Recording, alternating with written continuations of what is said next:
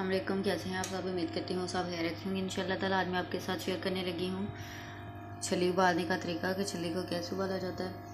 मैंने दो लीटर तकरीबन दो लीटर पानी है वो लिया उस, उसको थोड़ा सा नीम गर्म होने के लिए रख दिया और उसके अंदर ये बूटा छली जिसको कहते हैं वो डाल दिया। अब मैं इसमें थोड़ा सा नमक शामिल करूँगी। ये देखिए ये नमक डालूँगी इसके ऊपर थोड़ा सॉल्ट डाल दूँगी।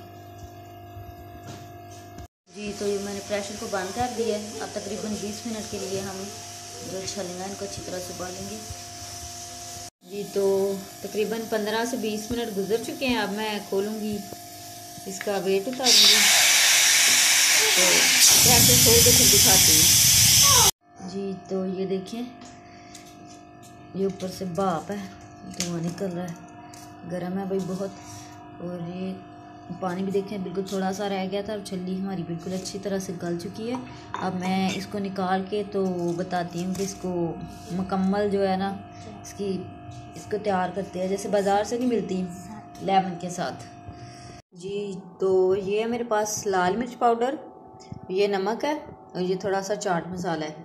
इन चीज़ों को अच्छी तरह से मिक्स कर लेना है। ये सारी चीज़ें मिक्स करके एक प्याली में डाली अब मैं लूँगी एक लेमन। जी तो अब मैं लूँगी एक छल्ली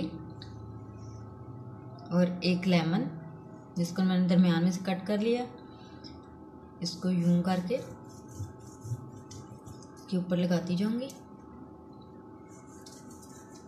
साथ साथ जो लेमन का रस है, वो भी छल्ली के अंदर चला जाएगा। ये देखिए, ये रस है लेमन का। मसाला लगाएँ।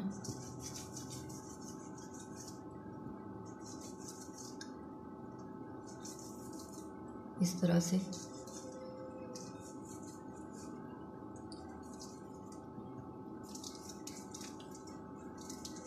इस तरह से बाकी की जो छलियाँ हैं, उन पे भी मैं मसाला लगा के इनको रख लेती हूँ।